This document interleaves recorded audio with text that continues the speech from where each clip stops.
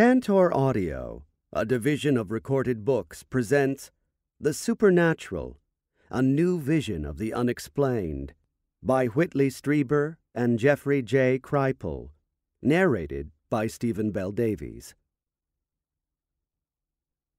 Instead of shunning the darkness, we can face straight into it with an open mind. When we do that, the unknown changes. Fearful things become understandable, and a truth is suggested. The enigmatic presence of the human mind winks back from the dark. Whitley Strieber, Communion. The eye with which I see God is the same eye with which God sees me. Meister Eckhart, 1260 to 1327. Chapter 1 The Already World. Jeff. They took a little hair off my head and cut my nails. I asked questions in my mind, but before I could verbalize them, they answered back very softly but directly, We are making a new you. I asked him, Are you like angels? And he replied, Not as you have been taught. An anonymous letter writer in the communion letters. I am afraid of this book. There is something about it, something explosive and new. It is not a neutral book. It is an apocalypse of thought waiting for you, the listener, to actualize. The world will not really end as you listen, of course. Not the real one, anyway. Much might well be lost, we hope. You should know that. But more, much more, really everything, might well be gained. In a few words, this is a book about a new world, the next world that has already arrived, that has always been here, whether we have recognized its presence or not. As you listen, Whitley and I explore the proposal that we are all embedded in a much larger, fiercely alive, and richly conscious reality that is only, at best, indirectly addressed by everything that the human species has ever thought or believed. The religions, for example, have been attempts to look at and engage this conscious reality as if it were primarily concerned with us. But we don't really know that. And in fact, we cannot know that. Not at least yet. Our proposal to venture outside the present houses of faith without forgetting those family homes or leaving the spirit behind, to embrace science in a new way by promoting a more generous vision of the full human experience of reality that can embrace and ponder more stuff, especially the wild, fantastic stuff that shouts, glows, and zaps in this book. And above all, to understand to really understand that we are already and always have been living in a supernatural world, that we ourselves are highly evolved prisms or mediums of this supernature coming into consciousness, and that many of the things that we are constantly told are impossible are in fact not only possible, but also the whispered secrets of what we are where we are, and why we are here. This is a book about that already world. To my knowledge, nothing like it has ever been attempted. Here, one of the most widely read figures in UFO and abduction literature, and a seasoned, take that either way, professor of comparative religion sitting down to encounter each other's thought, seriously and respectfully, as the author of the 20th century's most influential and intimate description of an abduction event, Communion, 1987, Whitley sets on our shared table his visions of alien spectral figures that seemed at once physical and not physical, at once a thing and a thought, at once sexual and spiritual, at once traumatic and ecstatic I bring the practices of the professional study of religion to the table in order to explain what historians of religion have written about these paradoxical things. It turns out, a lot. And how we might make sense of them without surrendering our critical faculties and understandable skepticism. We work in tandem. We read each other. We rewrite our chapters in the light of what the other has written. In the process, we rewrite ourselves. The text is at once intimate and professional, both in content and form. Whitley, far from being what he has been portrayed in the media, that is, an advocate for belief in alien abduction, reveals himself in his chapters as a questioning and self critical, non religious, but spiritual man, telling his story as he has lived it as a journey through unexplained but extremely powerful perceptions. I take the role of the trained comparativist, framing my responses to Whitley's narrative through the tools of my trade. I introduce technical terms. I use footnotes. I talk history. I play the professor.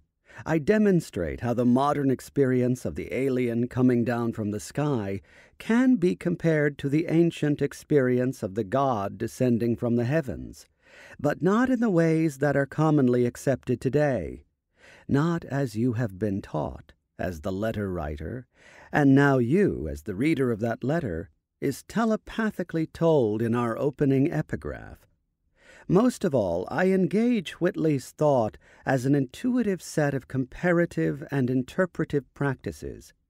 I demonstrate how Whitley has, all along, been offering us a most radical theory of religion and the human spirit. I make explicit the principles that are implicit in his writing, and give these the names and nuances that have been developed in the study of religion over the last 200 years. Whitley, in turn, challenges me, and by extension my field, with experienced realities that few intellectuals are prepared to admit exist, much less are willing to study and try to understand. Things like the imagination's ability to materialize its content in the physical environment, a home invasion, and an implant the human soul as a real form of energy that is not dependent on the body brain for its existence, and an emergent mythology that is not entirely imaginary. As my initial invocation of an apocalypse of thought makes clear, neither of us takes this conversation lightly. Both of us have known professional rejection, religious hate campaigns, censorship, and outright character slander for what we have sincerely thought out loud in the public square. We know perfectly well that what we think cannot be slotted into the present order of scientific knowledge and religious belief. We will not pretend otherwise. Nevertheless, we want to speak clearly and respectfully to both the open minded skeptic and the open minded believer as we think both have something important to bring to the table. And are we not all believers and skeptics at different moments? The final hope and intended result of this book is not yet another set of pat answers or clear conclusions about strange things. We have no such easy or settled answers. Our intentions for this book are more humble we want to model a different sort of conversation about the importance of experienced anomalies, one that is more even handed, more careful, more intellectually generous, and so more useful. We want to shift the conversation. What to say on a plane? You have probably heard of Whitley Strieber and know something about what he does. You probably have no idea who I am or what I do. I am not at all sure what to tell you, either.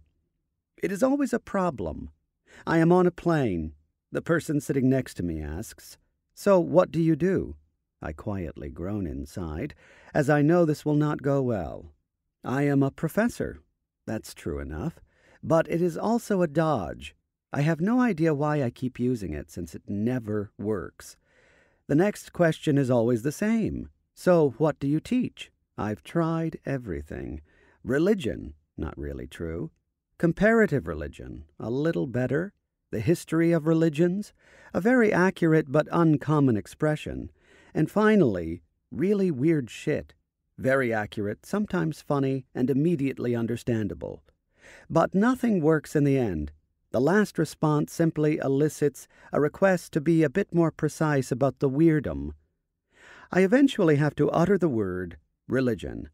The moment I do, the person puts me, consciously or unconsciously, in a box of his or her choice the box of the preacher, the believer, or the kook. There is nowhere to go now. The conversation has ended, and religion has killed it. Still, there is an answer to the question of what I do. I compare things. To be more precise, as a historian of religions, I compare fantastic states of mind and energy and their symbolic expressions in human history, literature, religion, and art. These fantastic expressions often appear to issue from, point to, or even try to conjure some other realm or dimension. As such, they commonly violate our assumptions about how the world works. First and foremost, they commonly challenge our most basic assumption that the human being is a subject, in here, looking at a world out there. Something might zap the body with bizarre energies that in turn affects technology and the immediate environment. The inside now literally resonates with the outside. Or the person might become endowed, temporarily or permanently, with astonishing physical capacities, X Men style, that provide accurate information about the empirical world, say the precise details of a brother's future funeral, the distant location of a husband killed in a car accident, or the moment by moment development of a neighborhood fire miles away in another city. The historical record is as vast as it is consistent with respect to these real world superpowers. In every culture of which we have had some adequate historical record, we encounter spiritually radiated individuals with miraculous healing capacities, telepathic gifts, what was once called the reading of hearts, precognitive abilities, traditionally known as divination or prophecy, clairvoyance, seeing objects or events at a distance in space or time, even, believe it or not, apparent literal floating or flight, levitation. Forget Hollywood, forget the comic books. Superpowers have been with us for millennia, and they are real in the simple sense that people experience them all the time and have reported their effects throughout history. Some of the remembered effects of these fantastic states of mind and energy have been taken up by extremely elaborate social, political, and artistic processes and have been fashioned by communities into mythical, ritual, and institutional complexes that have fundamentally changed human history. We call these religions. Back to the plane and my imagined conversation partner. I suppose I do not really compare these later complexes, these religions. Rather, I collect and compare the earlier building blocks, the anomalous events or extraordinary experiences that may, or may not, eventually lead to a religious belief or institution. These anomalous building blocks, these tiny personal religions before religion, are historical facts as real and as important as any other recurring historical fact. They happen. What they actually are is quite another matter.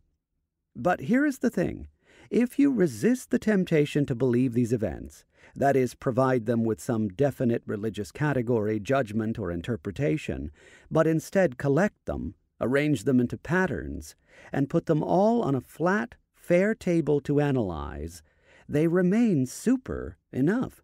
But they no longer appear to be so odd. And they are certainly no longer anecdotal, as the debunkers like to label them, as if that intellectual cop out explains anything at all.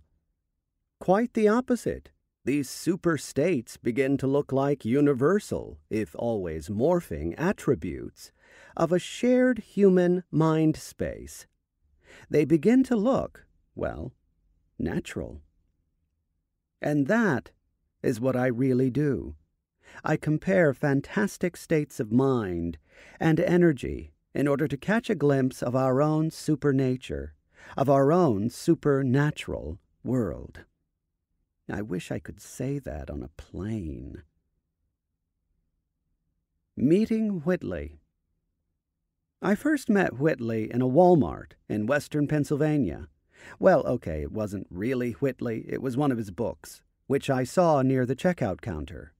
It was probably around 1995 or so, so it was most likely one of his nonfiction books, reflecting back on the communion phenomenon. At this point, I had no real interest in the book, in the subject of alien abductions, or in the broader UFO phenomenon. None of these things registered in my mind as potential objects of interest, much less of systematic study and professional analysis. That all changed around 2009 or so when I picked up communion at the recommendation of a number of colleagues who learned that I was working on a book on the paranormal and popular culture. Communion, of course, is the book that recounts Whitley's experience of what he calls the visitors during the Christmas holidays of 1985. What struck me about the book were the various ways that Whitley was engaging my own professional discipline in order to make sense of his traumatic openings and bizarre visions. Basically, he was reading his own abduction experiences by comparing them to similar accounts in the broader history of religions. Out of his existential necessity and the transcendent traumas of his own immediate experience, he was implicitly, intuitively, practicing the comparative study of religion. I decided to look and listen. I reminded myself that as a historian of religions interested in comparative mystical literature, especially of the erotic sort, this is what I wrote about for 20 years, I had some responsibility to do exactly this. After all, if communion is not a piece of modern erotic mystical literature, then I don't know what it is. I'll explain why in due time. But there was more. It also seemed obvious to me that whatever the ultimate nature of Whitley's experiences, one thing was certain. These types of extreme events lie at the neurological, psychological, perhaps even electromagnetic origins of many basic religious beliefs that are distributed around the world and have become the building blocks of the religions themselves for millennia. I am thinking here, for example, of the countless mystical encounters with light, fire, radiance, or power, of the magical or parapsychological capacities attributed to shamans and religious prodigies, or the widespread belief in a separable soul and its ability to leave the body the latter is an especially common experience that has led in turn to countless belief systems around the immortality or reincarnation of the soul and its various subtle bodies or spiritual vehicles. If one is interested in how religions develop, then one should be keenly interested in exactly these sorts of extreme experiences, wherever one finds them. I found them in Whitley Gradually, over the last five years, I have come to consider him and communion as litmus tests for my field. I have decided that if we, as scholars of religion, cannot take this text seriously, if we cannot interpret it in some satisfying fashion, if we cannot make some sense of this man's honest descriptions of his traumatic transcendent experiences then we have no business trying to understand his spiritual ancestors in the historical record. We either put up here or we shut up there. I decided to put up. The Wastebasket Problem My engagement with Whitley is also part of a conscious research strategy. In his pioneering book, UFOs Operation Trojan Horse, 1970, John Keel encouraged us almost a half century ago to stop focusing on the light shows in the sky and start looking closely at the effects that these phenomena have on the witnesses and contactees. The real meaning and purpose of the UFO phenomenon, Keel felt, is not in some machine in the sky. It is in the people who encounter these strange lights and are transformed by them. The secret of contact lies in the contactee. As a historian of religions, I am committed to the human context of any and all religious experience.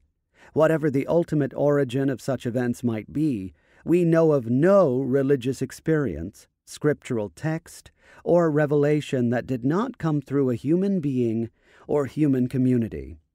The UFO phenomenon, of course, much like the human experience of the gods and revelation, indeed as another human experience of the gods and revelation, might end up having something fundamental to do with the non human, the superhuman, or the future human.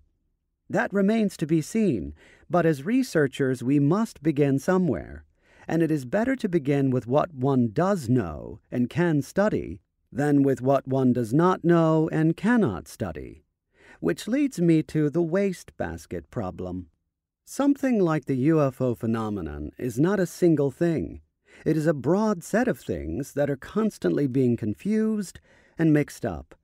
It is a wastebasket category, by which I mean that UFO is an umbrella term that encodes a particular Cold War military history and encompasses very diverse historical facts, institutions, and experiential events.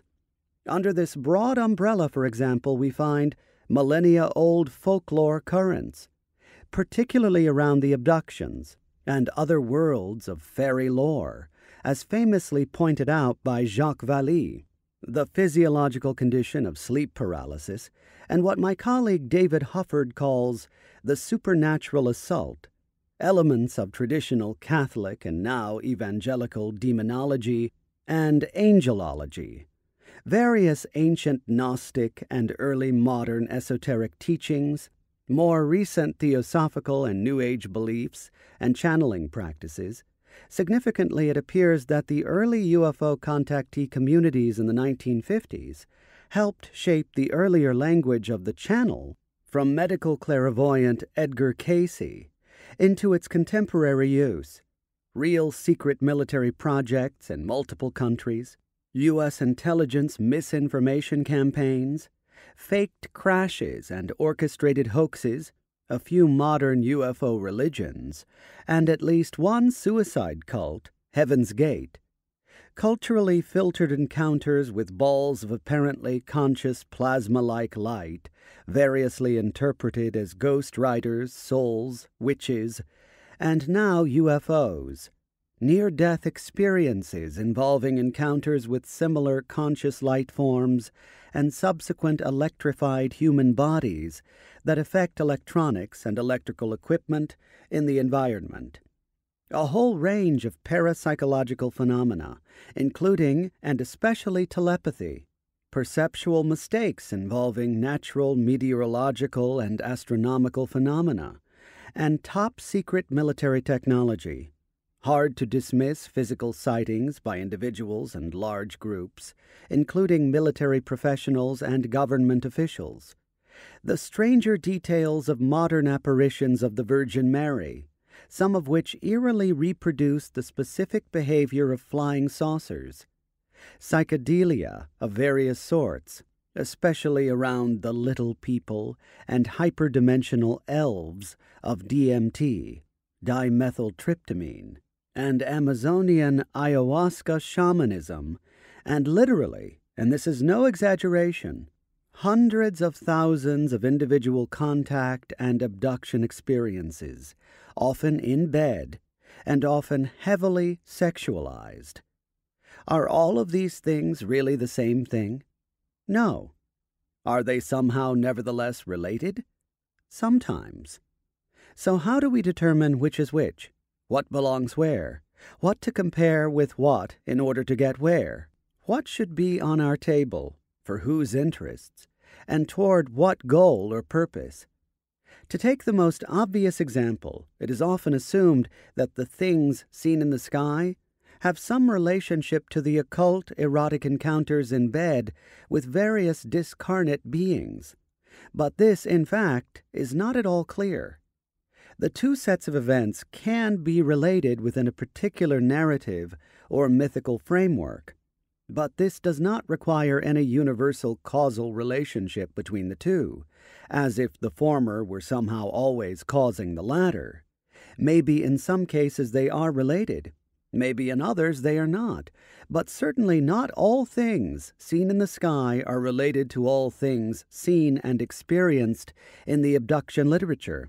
The UFO phenomenon is confusing, then, first and foremost because we are using a single, very loose comparative category to collect, classify, and interpret what are probably completely different things. That some of the things in the wastebasket, say the military disinformation campaigns, appear to be actively mimicking and dissimilating some of the other things in the wastebasket say the genuine unexplained aerial phenomena, hardly helps the matter. It only shakes up the wastebasket and makes it messier and more confused. There is a way around, though, and we will take it here. That way forward consists of A. Acknowledging the obvious presence of various military, intelligence, and security state measures at work in the Cold War history of the UFO phenomenon, the acronym does, after all, come from the American military. But B, setting these aside in order to move beyond and past them to the much older and deeper roots of the encounters in the global history of mystical and esoteric literature. This simple move solves many problems all at once. It takes us out of areas that this author has no authority over, no knowledge of, and no interest in. It also cleans up a lot on our table. Moreover, it allows us to focus on those subjects that we really do know something about and that we can actually study. Here, all of those subjects crystallize in a single subject Whitley Strieber.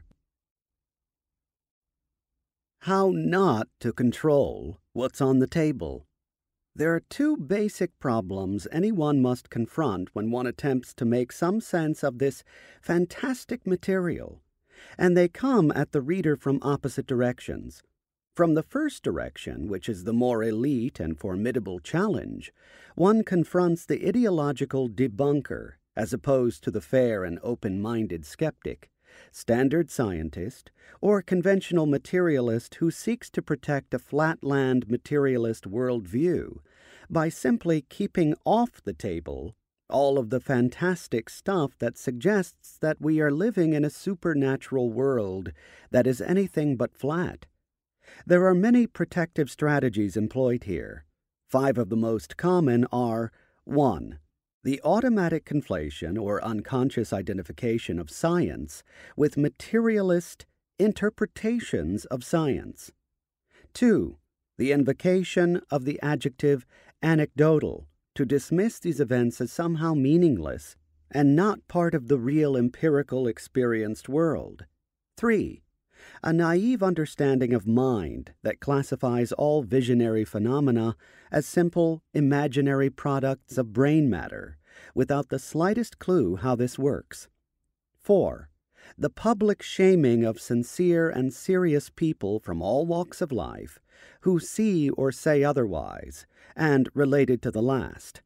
5 a certain historical amnesia with respect to all of those scientists and intellectuals who have been fascinated by the unexplained and have seen these phenomena not as meaningless anecdotes to dismiss and demean, but as important clues to a future super science. At the end of the day, though, most of these objections boil down to a simple and simplistic attempt to control what is on the table so that the only permissible evidence left there is that evidence that supports the materialist assumptions. It is very easy to explain all of reality if you get to define what that all is.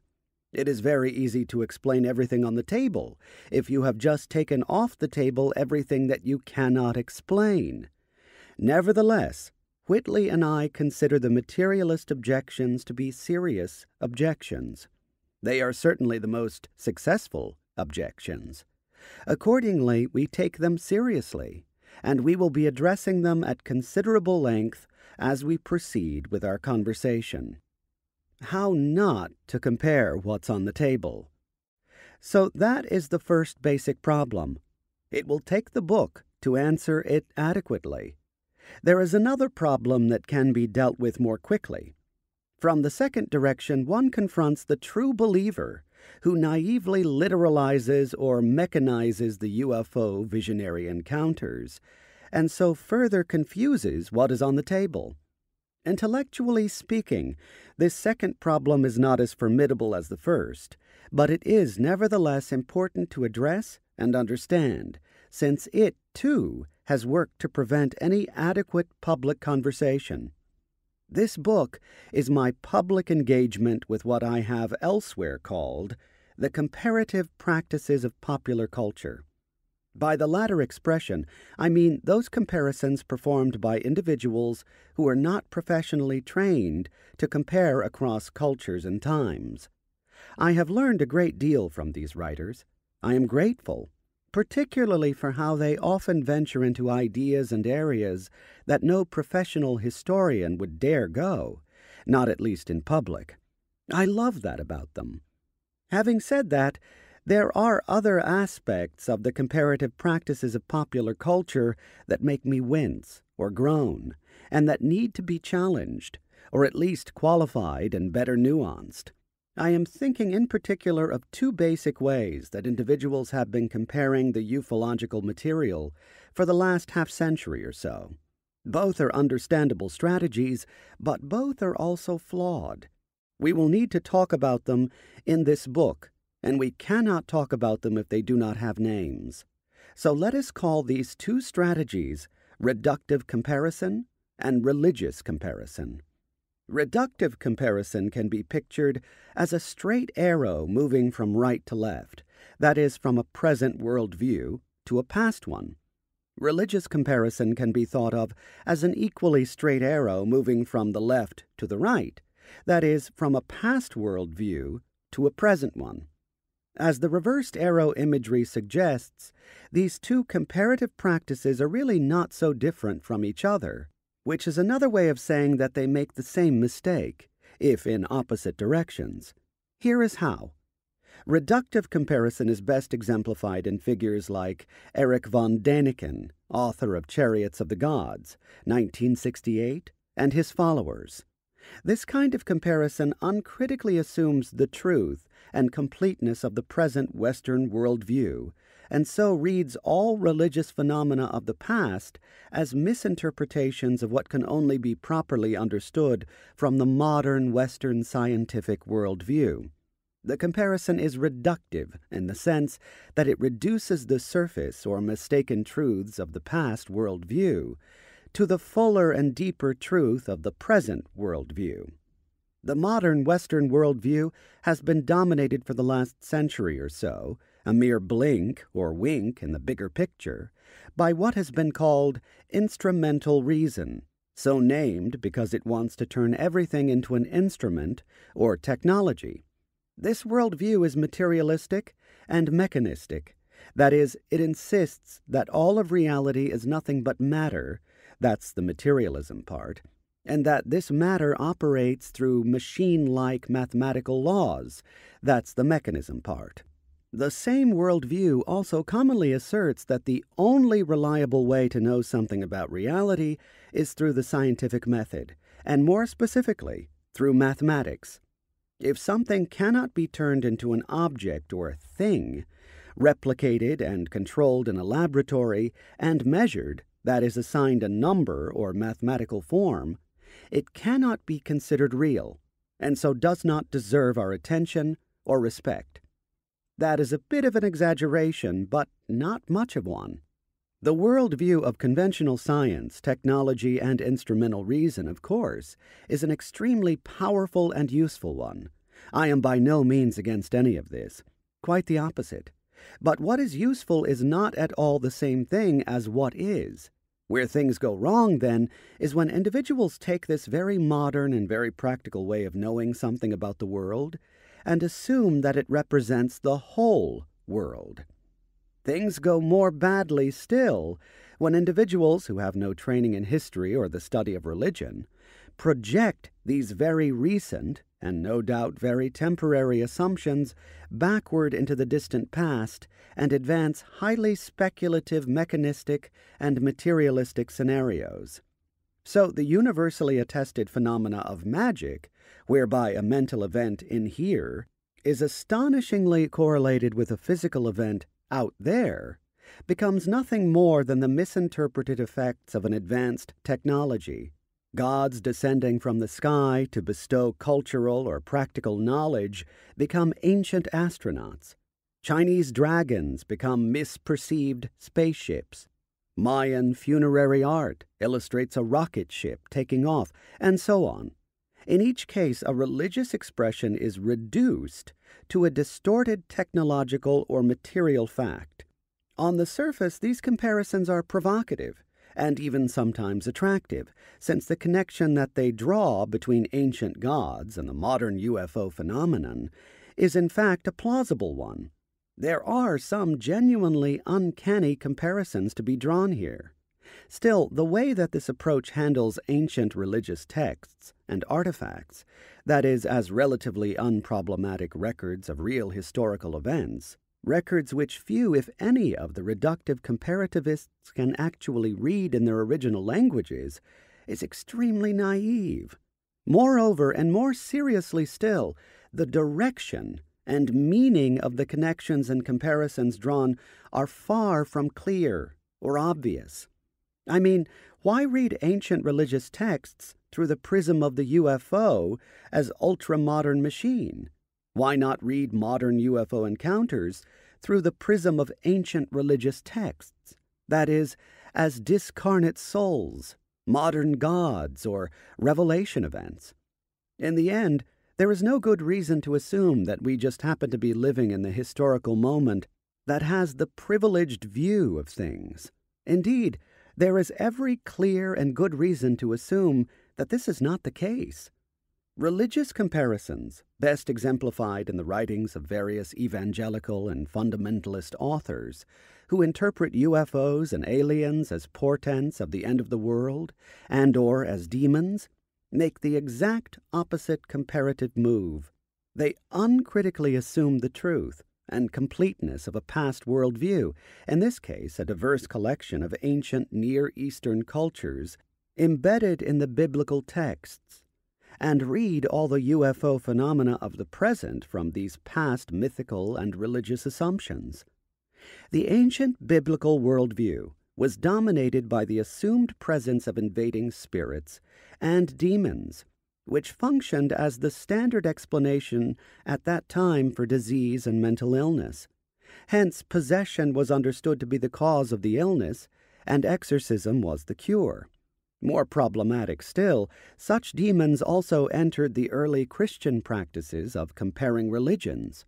In these early comparative practices of popular culture, the gods of other peoples and cultures were not genuine gods, or sincere expressions of some greater god. They were demons. They were evil. These demonic readings then made good emotional sense of the destructive aspects of disease and mental illness but they also functioned as a way of literally demonizing other religious communities. This same demonic reading of other people's religious experiences would also lead to later historical horrors, like the early modern persecution of witches in Europe and colonial America. Unfortunately, that is not an exaggeration at all. Having said all that, there are aspects of both the reductive and religious comparisons that are attractive and that actually work to our benefit in particular contexts. To take a single example, we will get to others in the book that follows. It is remarkable and surely significant that particular religious visions of the past look like visions of some kind of living machine or conscious technology the famous vision of Ezekiel in the first few chapters of the biblical book of the same name is a very good example. The Jewish traditions have understood those chapters as revealed descriptions of a divine chariot and have made them central to their own versions of the mystical life, hence the chariot mysticism of ancient Judaism. But clearly, whatever the prophet saw within his own abduction experience, it was no chariot, not even close. Any honest reader can see that immediately. Unsurprisingly, the biblical book itself never uses the word chariot. It is also worth keeping in mind here that the Jewish tradition has long recognized that the first chapters of Ezekiel are among the strangest and most dangerous chapters in the entire Hebrew Bible. Moreover, it has often sought to restrict access to them, particularly among the young and unprepared. There is even a well known rabbinic text that tells about a child who accidentally read these chapters and was consumed by fire that burst from the holy pages. We need not be Jewish or Hebrew readers to detect an important lesson there. But even with the conscious machines of the history of religions, we have to be very careful. Something like the very traditional Jewish mis metaphor of the chariot, after all, should give us deep pause, as the rabbis, Kabbalists, and ancient readers who invoked it were doing more or less what the modern reductive comparisons are doing today. They were taking the cutting edge technology of their own place and time, in their case, the chariot, and reading into it an extraordinary visionary scene where it really does not work or belong. Clearly, when individuals invoke spaceships, ancient astronauts, and extraterrestrials today, all aspects of our present modernist culture and science fiction literature, to describe past visionary events, they are doing the same thing. Basically, they are invoking chariots. They are drawing the same straight arrow from their own relative present to some past event or text. They are misreading the past through the lens of the present. They are doing something similar, of course, when they read modern UFO encounters as ultra modern machines. Here, they are misreading the present through the lens of the present. And although the overwhelming consensus of scholarship on the Hebrew Bible is that the first few chapters of Ezekiel record an actual reported vision, do we need to be reminded that a text is not the same thing as a historical event? That stories and texts, even biblical texts, often never happened at all? The religious comparisons can also be helpful, particularly to the extent that they work to challenge the simplistic technological readings of the reductive comparisons, the latter nuts and bolts readings of UFOs, whereby the UFO is a physical objective machine, for example, inevitably cherry pick the ufological literature and concentrate on those encounters or sightings that look very much like technological encounters. Many of them indeed do. But then what to do with the simple facts that these things in the sky do things that no machine can do, that they behave more like thoughts than things? And what to do with the little and big humanoids, and, as John Keel continuously reminded us, in order to really mess things up, the hairy and winged monsters often seen in association with the crafts. And this is before we get to the elaborate descriptions of the humanoids' apparent abilities to walk through walls, float, read minds, paralyze people, disappear into thin air, and so on. Are not all of these abilities traditional magical powers? And are not all of these powers common features of the gods in cultures like ancient Greece and traditional Hindu India? In other words, these encounters do look like religious encounters. The religious comparisons, like the reductive comparisons, have a real point. But the question remains which way do we shoot the arrow of comparison? And interpretation. The future of the past. The short answer is both ways. The longer answer is it's complicated. The truth is that the comparative practices that Whitley and I will be performing in this book are neither purely reductive nor religious. We will privilege neither our modern world's materialism and mechanisms nor the mythical and religious assumptions of some past worldview, since all of these are clearly relative to their place and time, as is our own. It is precisely this acute awareness of the relativity of any perspective, of any point in space time, that makes things so complicated and rich. We will draw comparative lines between the past and the present, then, but we will shoot the arrow both ways. By doing this, we will allow the religious comparisons to challenge the reductive ones, and we will allow the reductive comparisons to challenge the religious ones. But we will privilege neither. If we need a visual image here, we might replace our two straight arrows with a time loop circling back and forth as it moves up and forward in a kind of spiraling progression. Not a straight arrow, but an upward spiral, then. Elsewhere, I have written of the future of the past to capture this progressive spiraling model of historical thinking and interpretation. By this paradoxical expression, I mean that we need to come to terms with the simple fact that, yes, we can now read the past in ways that past peoples could not read their own presents. Our future changes the meanings of their past. But any adequate understanding of their past will also inevitably challenge our own present assumptions about the world, and so change the meanings of our present. There is no straight arrow here. There is a kind of recurring time loop, a constant return to the past in order to reassess and recalibrate the present toward a different kind of future. Anyone who works seriously with historical materials is familiar with these interpretive paradoxes. Think this is the stuff of academic eggheads and so irrelevant to the subject at hand? Think again. These sorts of interpretive paradoxes and historical loops are integral features of the contact experiences themselves. Indeed, the contact literature has only radicalized the possibilities of this future, of the past. In many of these events, after all, the implication is that we are in the past being visited by future humans who are contacting and abducting us toward, we can only assume or hope, some kind of recalibration or adjustment. Consider lines like this one from Whitley's The Secret School.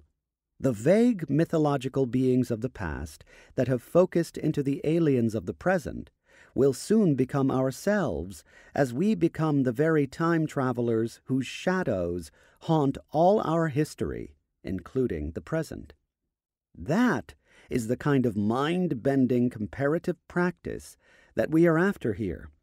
To really name it, define it, and practice it, however, we will take the work of both an experiencer and a theorist working together in deep conversation and mutual criticism this is the spirit of our undertaking.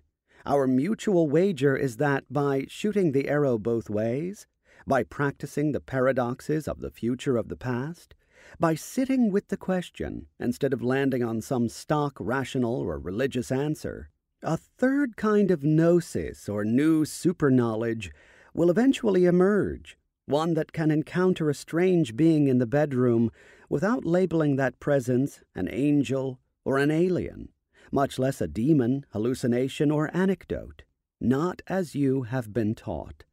Hence our title, The Super Natural.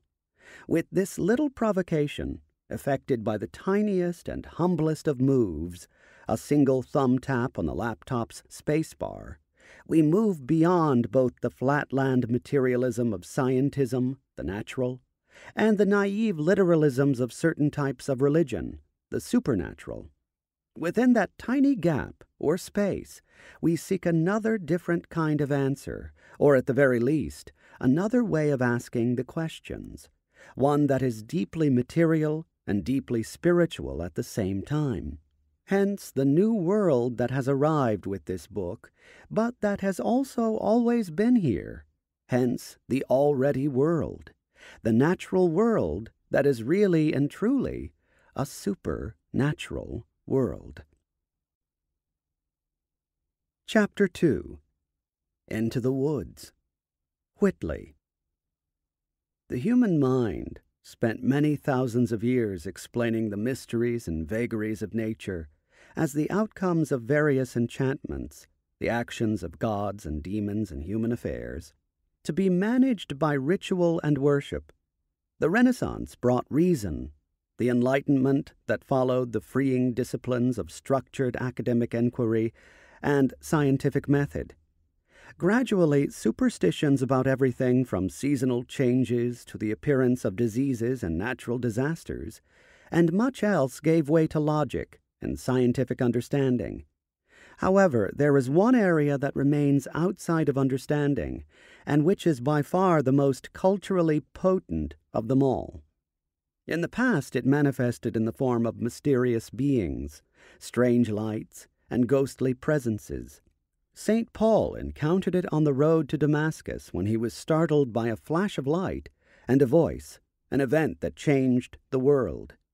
Earlier, Moses encountered it in the form of a burning bush, with equally dramatic effect on our culture. It is what we now call the supernatural.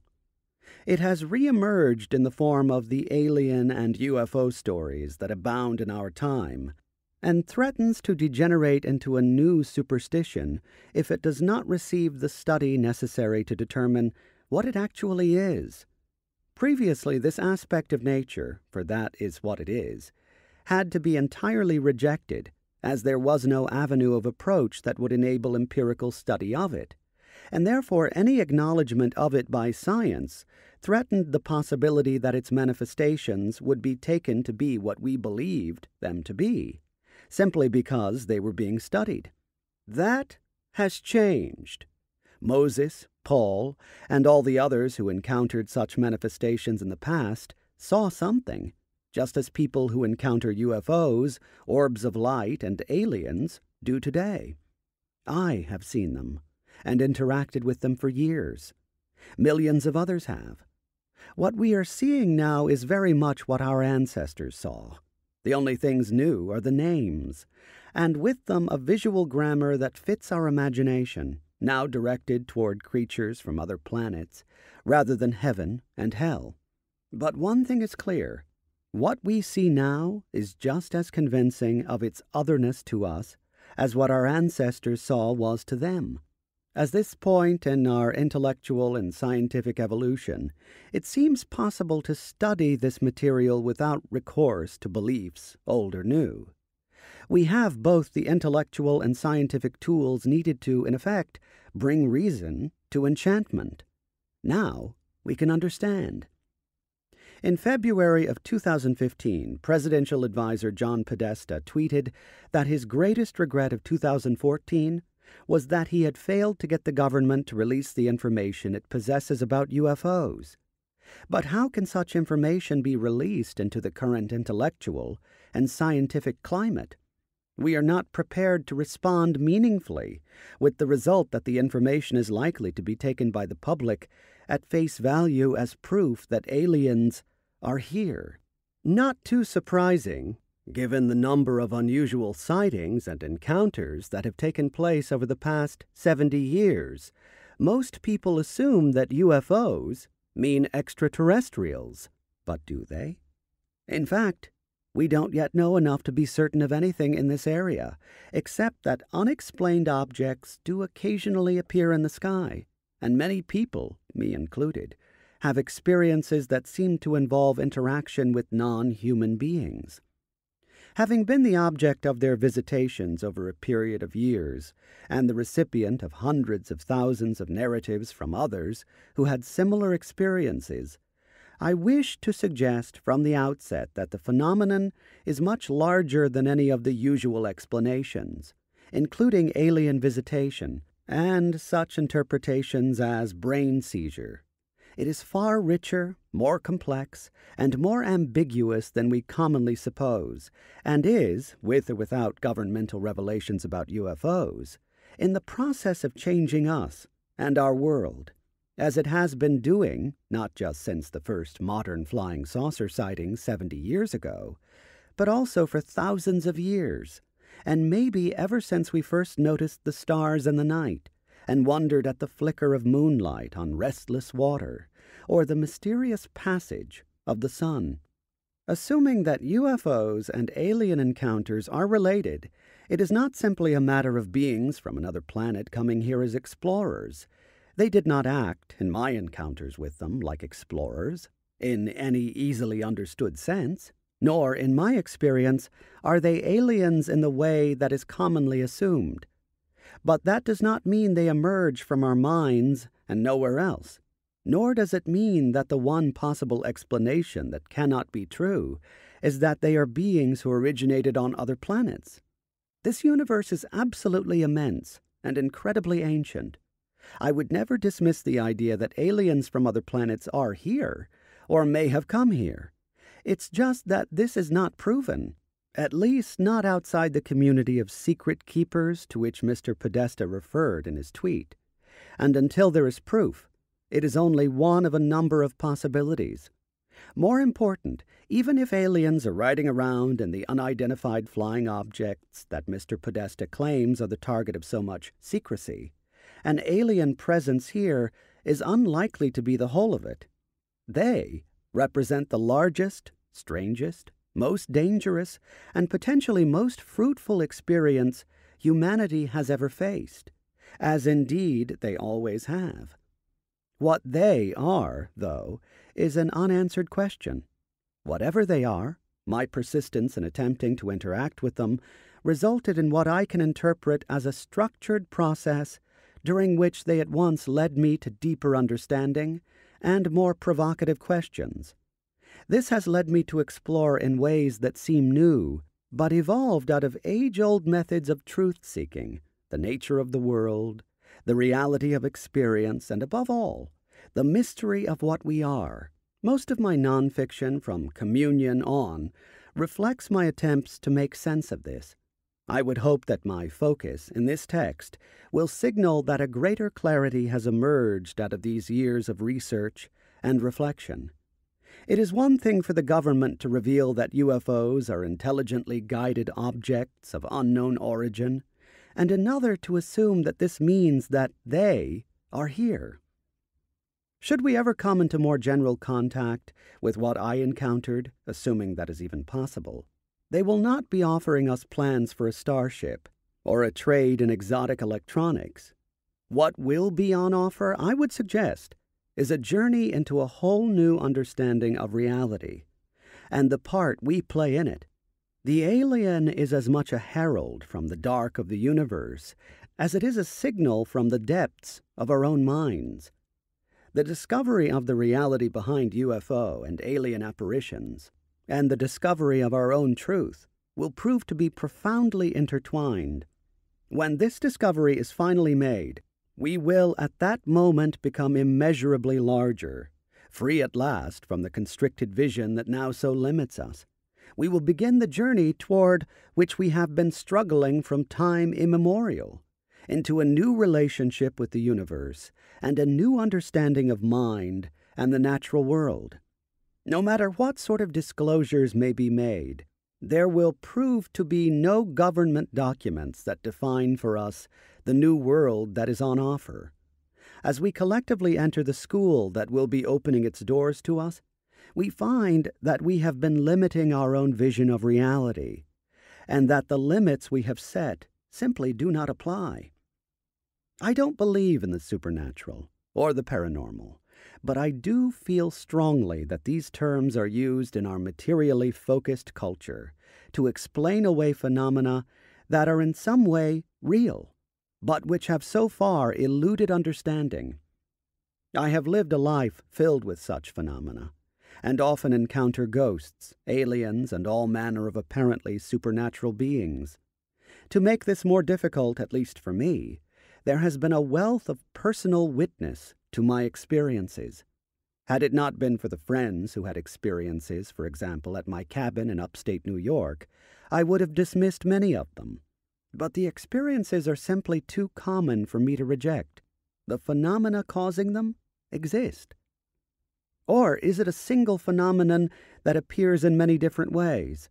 But just because a thing is witnessed by more than one observer does not mean that it is understood. It can be understood, as Jeff points out, in the context of whatever present one happens to live in, But that doesn't mean that flying saucers and aliens are the final truth, any more than were past interpretations. At different times, I have convinced myself of many different things regarding what I was perceiving and experiencing. But all of those explanations aliens, interdimensional beings, other earthly intelligent species, ghosts, deities, time travelers, seizure effects it's a long list have proved to be unsatisfactory or incomplete in one way or another. Aliens both are and are not aliens, for example. Ghosts are both real and illusory, something like reflections.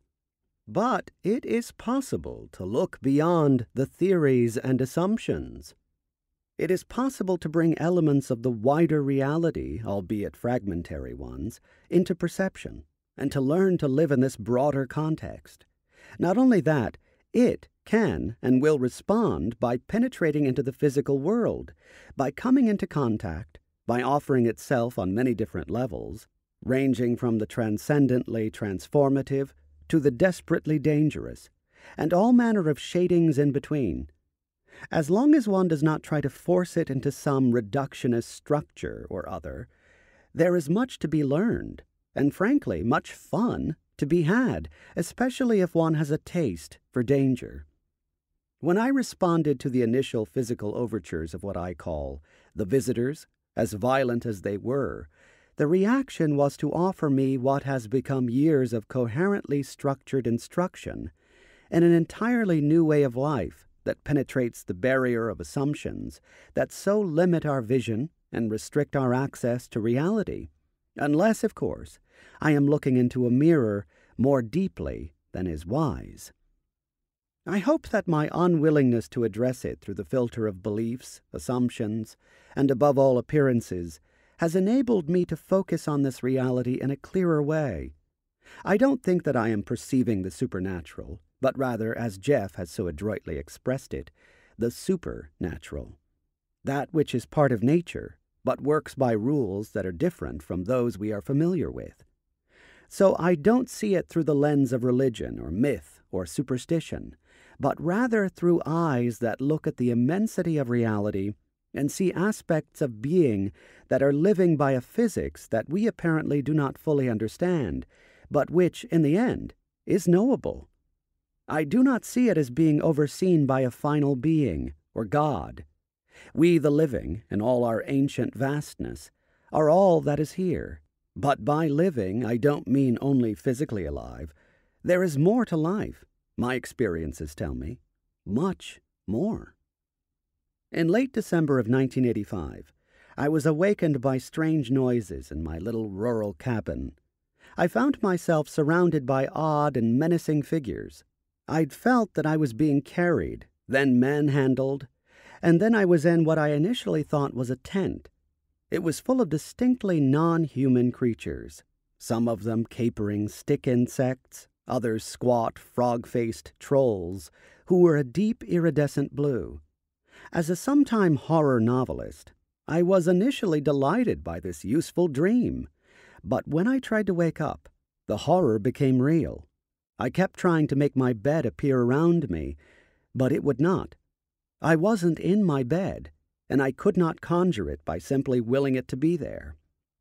I heard a softly robotic female voice repeating over and over, What can we do to help you stop screaming? A series of spectacularly bizarre and terrifying events then took place, unfolding at once as a horror movie, a grim fairy tale, a nightmare, and a viscerally real, physically painful experience. The next morning I awoke feeling beaten up, but confused about why that would be. Over the next few days, I would begin to recall somebody pushing a needle into my head and feeling what my doctor would later say looked like a spider bite. More disturbingly, the rectal agony that would later be universally lampooned began to torment me.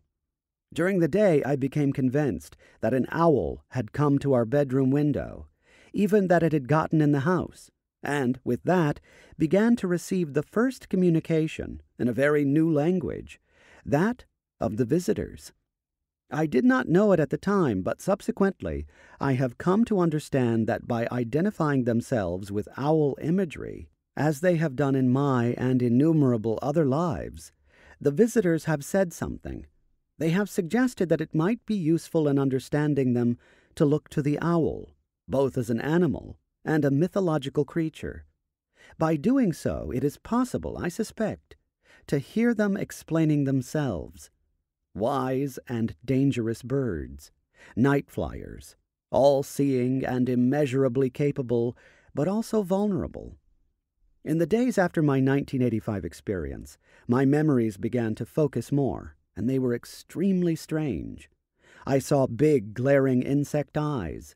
I recalled short, dark blue figures racing around me at breakneck speed. I recalled that I had been treated very roughly, at first, I thought that I'd been the victim of a crime.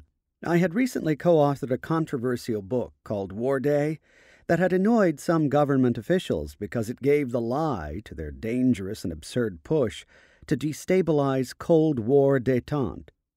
Had vindictive officials had me drugged and beaten up to terrorize me, or even to drive me mad? Or if I dared speak about it, to guarantee that I would be discredited? If this was the motive, it certainly worked. My efforts to describe my experiences publicly and accurately have profoundly compromised my credibility. I recalled seeing a familiar face during the initial stages of the experience, a school friend who had joined the Central Intelligence Agency. But when I tried to look him up, I was appalled and confused to discover that he had died months before the night in question. So then I decided I must have had a psychotic episode, and never mind my injuries, which had been quite apparent in the following days. These injuries included an aching malaise, as if I'd been roughly treated, a needle mark in the side of my head, and the rectal injury. I did not want to face these injuries. I did not want to deal with the possibility that the experience had been physical. A visit to my doctor was extremely unsettling, largely because he not only saw the injuries as physical, but when I described my memories, said, It sounds like you're saying you were taken aboard a flying saucer by little men. We agreed that psychological tests should be the next step. However, they revealed only a high stress level. Then I thought perhaps it was a seizure that had manifested itself as a vivid hallucination, but a test for temporal lobe epilepsy indicated that I had a brain that was not only normal, but also exceptionally resistant to seizures. An MRI scan revealed no sign of any illness that might account for my perceptions. Thus began what has become the odyssey of my life.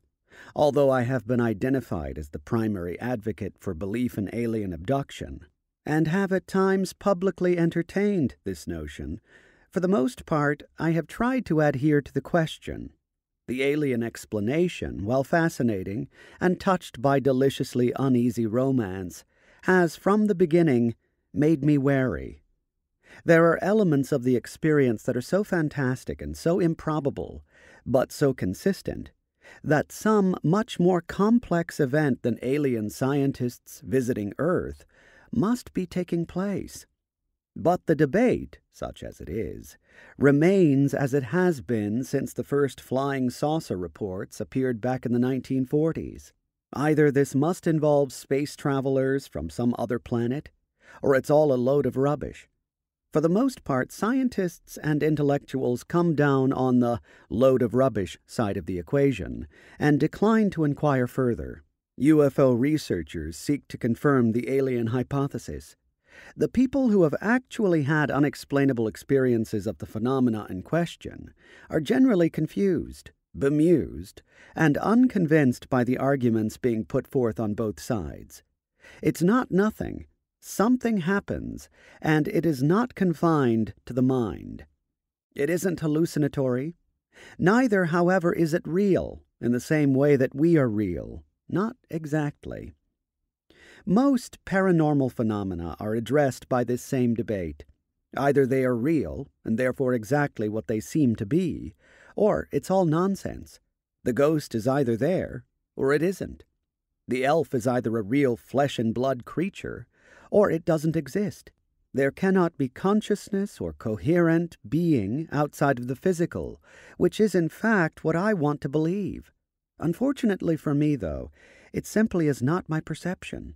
Despite the fact that I can't explain them, I frequently see and interact with non physical and quasi physical beings.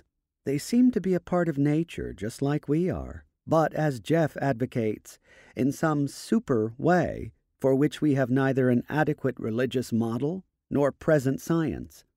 They also have, at least in my life, what has come to seem a rather clear aim. They want to challenge me with questions too provocative to be left unanswered, but which I cannot, in all frankness, answer in anything approaching an objective manner. I'm not like the old prophets who saw them as angels and deities, or modern advocates of alien contact, who see them as extraterrestrials. They are in my life, but I don't know what they are. In fact, they are involved with me right now, as I'm writing. After I had finished this introduction and was beginning my first experiential chapter, which is primarily focused on a type of alien that is also a troll called in folklore, a kobold, another sort of little person, appeared in my life. On the very morning that I started writing about little blue men, Linda Moulton Howe, who is a long-time observer and professional reporter in the field of the paranormal, sent me a group of three trail camera photographs of what appeared to be a classic garden gnome, complete with red vest and tall pointed hat. At first, of course, I assumed that this was exactly what it was a garden gnome suspended from a string. Work with a photography expert soon told a different story. First, the figure was blurred, and thus moving fast. It wasn't swinging in an arc, but walking on two spindly legs. It was 44 inches tall, a typical height for all of these small beings. It had stopped moving forward the moment the camera took its first picture, then beat a retreat at a high rate of speed. The camera, activated by movement and heat, takes a photo every second until the movement stops. There was no evidence that the photo was hoaxed or that the image on it was anything known. Now, if we apply the old methods, we must conclude either that garden gnomes are real creatures, or that this is some sort of hoax, or perhaps a shot of a common animal whose appearance has been distorted by a trick of light. I could add paragraphs here, calling on the testimony of photographic experts to show why it can be neither a hoax nor a distortion. But why bother? I'd prefer to let that sort of debate wander off down its meaningless pathway on its own, frankly.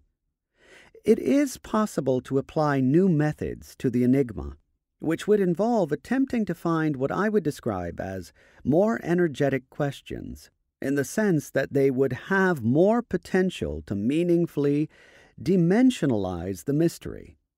Discovering such questions is not going to be easy, given that we have never searched the supernatural for an inner logic, but only argued about it, at least in the public forum, in the most simplistic way. In the academy and the professional study of religion, of course, a much more sophisticated debate has been going on for a 150 years but that debate has hardly penetrated public perception, which remains bound to the either or proposition. So there I was, dealing with a photo of what appeared to be a real gnome. The picture had been taken in July, but time and chance had dropped it into my inbox at precisely the most provocative moment. But why? Or is there a why? Is some hidden level of mind asking me to become an advocate for the reality of garden gnomes? Or are we seeing a droll challenge from this other level, one that is suggesting that we really do need to think about the whole subject in a new way, and perhaps also a little less ponderously? The images in all their ambiguity, with all their implications and their deep hilarity, are there to be faced with an open mind and I think some laughter would be appropriate too. After I realized that my 1985 experience was a true mystery, I began compulsively going out into the woods around the cabin where it happened, quite a large woodland, in fact, and attempting to somehow face it again. At the same time, I wrote and published my book about it called Communion, the reaction to which was easily as unexpected as the experience itself. Had you asked me prior to the release of the book how many people might claim similar experiences, I would have estimated the number in the hundreds. I'd met twelve or fifteen and knew of perhaps thirty others. Then the letters started coming in, at first by the hundreds, then the thousands, then a great cataract of letters, easily 10,000 a month, from all over the world. The publisher told me that the book was selling far beyond even their most optimistic expectations. Previously, the Close Encounter experience had been assumed to be a rare and eccentric anomaly. Accounts were dismissed as isolated anecdotes, not worth pursuing scientifically because of a lack of consistent data. I was deeply moved, not to say shocked, to see that I had uncovered a human experience of vast size that was completely hidden. Far from parroting versions of my own experience, my correspondence revealed that they were perceiving an extremely complex phenomenon that involved hundreds of different types of events. They were linked by certain commonalities, most often the seeing of a face, long and thin, with great dark eyes, like the one I'd had painted for the cover of the book. The letters were, many of them, articulate and detailed. At the time, the skeptics community was advocating that the alien abduction accounts were being induced in susceptible people by the use of hypnosis. This was concerning to me because there were indeed amateur hypnotists who were convinced that the phenomenon was caused by interactions with aliens, who were actively hypnotizing people and possibly distorting their memories. I had myself been hypnotized, but by Dr. Donald Klein, a leading practitioner of forensic hypnosis who had solved numerous criminal cases with his techniques. Neither of us, at the time he began hypnotizing me, believed in the alien abduction scenario. My correspondents, however, had for the most part never had hypnosis or any kind of professional support. They had never heard of UFO investigators or organizations like the Mutual UFO Network. They told, time and again, stories that were strange, beyond strange. Between 1987 and 2000, we must have received well in excess of half a million letters, at least a hundred thousand of them detailed accounts. I understand that this seems like a fantastic number, but it is probably accurate. We stopped counting at 200,000, and that was in 1992, and they were still arriving in surprising numbers as late as 1998. We have kept around 30,000 on file. Anne, who has read them all, compiled a book called The Communion Letters that includes a little over a hundred of them, chosen because they contained examples of typical experiences and were quite well written. Obviously, I was not dealing with isolated anecdotes. There was a wealth of material here for study by neurologists, psychiatrists, and sociologists. To expedite this, I created the Communion Foundation. However, I found that I could get no support. There was not just no scientific interest, but the reaction was often hostile. And why not? A scientist seeking to study such people, as Doctors John Mack and Roger Leir discovered, could expect to have their professional credentials challenged if they dared propose such study or worse, engage in it. I very well remember that day that Dr. Mack called me and told me that both his license to practice psychiatry and his tenure at Harvard were under review. Later, the very man who led this attack became an ally of Dr. Mack's, but it was initially a very dangerous situation for him. Dr. Leir told me that he was also the subject of such attacks. Sadly, over the years, I was unable to successfully communicate the reality of this fantastic outpouring of witness. Most members of the academic, scientific, and intellectual communities, let alone our serious media, have to this day no idea how extensive the experience actually is. So we're still at the beginning of the journey when it comes to even finding useful questions, let alone viable answers. Surely that can change, but not unless the most interesting aspect of the phenomenon, which is its ambiguity, is to replace the either or debate. For example, there is a rich trove of physical evidence that something strange is afoot. but also a rich trove of evidence that clearly emerges out of folklore, with a strong strain of myth in the mix. Whatever happened to me on the night of December 26, 1985, there was enough physical trauma to send me to the doctor a few days later, who observed that I had been raped. Unfortunately for me, I was so humiliated by this that I described it in communion, delicately I thought, as a rectal probe. The result was that instead of being treated with the sensitivity one might think would be due a rape victim, I was made a figure of fun. Still, I could not bear to admit it, not even knowing that doing so would have rescued me from the trauma of being ridiculed for my suffering. It took me a quarter of a century to even describe the experience as a rape to my wife. It was during this period that I became identified as an advocate of the alien abduction scenario. I could not refute it, because it might be at least partially true. So I won't say that at times I haven't been seduced by it, because it does have its appeal. But that core of distrust has never left me. My reason for this is not the one usually advanced, that they couldn't possibly get here.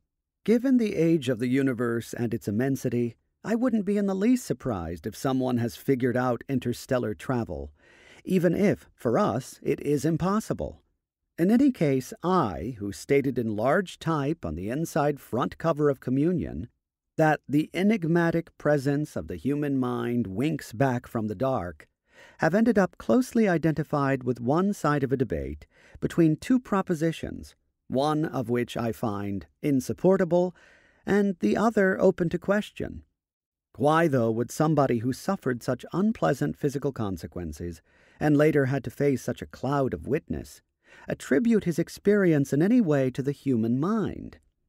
I don't mean that it's entirely in the mind, but rather that the mind might not be entirely in us. In other words, mind might not be entirely confined to the brain. Since the moment that I began to apprehend the actual dimensions of the experience and all its wonderful improbability and confusing physicality, I have been dogged by that improbability.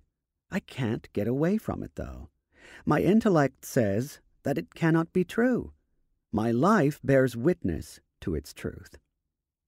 If mind does exist independent We hope you enjoyed this preview. To continue listening to this audiobook on Google Play Books, use the link in the video description.